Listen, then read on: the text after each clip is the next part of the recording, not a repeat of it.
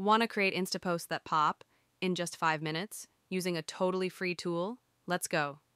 Today we're using Canva, and yep, this is all on the free plan. No pro subscription needed.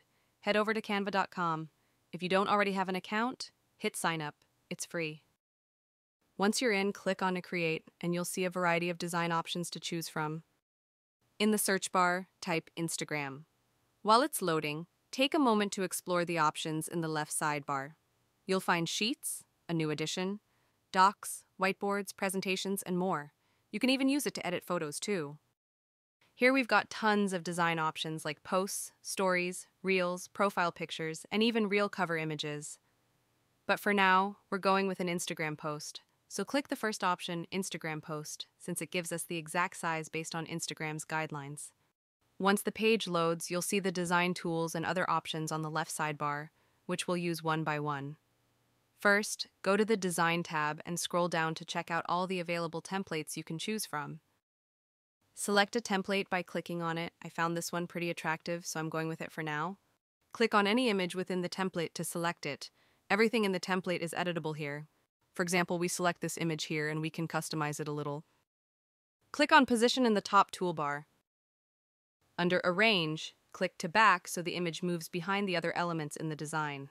Click to front to bring the image forward again. Click on Edit in the top bar. A pop-up will open where you can edit the specific picture you selected. Most of the features here are premium, so they might require a paid plan. Click on Text in the left sidebar. Scroll down to View Font Combinations. Click on a font combination to add it to your design. Drag the text box to the desired position. Select the text Spring and type Friends instead. Just like this, you can manually add any text and customize it with your own words. Click the duplicate page icon below the canvas. This lets you create two different designs so you can pick the best one later. Navigate to the Uploads section in the left sidebar.